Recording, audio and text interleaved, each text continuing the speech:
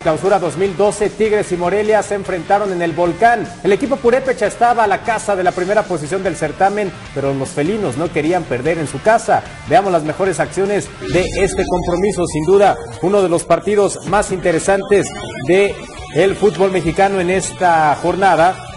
Miguel Ángel Ayala, el árbitro del partido del Estadio Universitario, vibraba con la primera anotación. El pase para Elías Hernández que definió de zurda. Extraordinario venciendo a Federico Vilar. El empate de Monarcas Morelia llegaría por conducto de Miguel Sabá.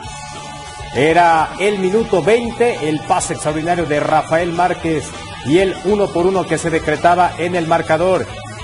Segunda parte, Tigres atacaba y Tigres empezaba a dominar el partido. Erno, Edno Roberto Cuña estaba metiendo ese riflazo para el 2 por 1 después. El propio Edno queda solo, se la pasa a Lucas Lobos, que remata completamente libre al 68 para el 3 por 1. Y vendrían cifras definitivas con Damián Álvarez.